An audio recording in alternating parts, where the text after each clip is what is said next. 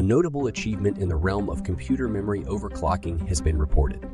DDR5-11202 memory overclock has been successfully achieved on Intel's Z790 platform.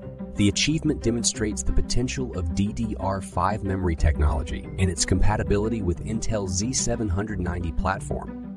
The overclocking process involves pushing the memory module to operate at a higher frequency than its default specification. DDR5 memory offers significant improvements in terms of bandwidth and performance compared to its predecessor, DDR4. The successful overclocking of DDR5-11202 memory highlights the capability of Intel's Z790 platform to support high-speed memory modules. Overclocking memory can enhance system performance, particularly in memory, intensive tasks such as gaming, content creation, and data processing. The achievement paves the way for enthusiasts and professionals to explore the capabilities of DDR5 memory and unleash its full potential.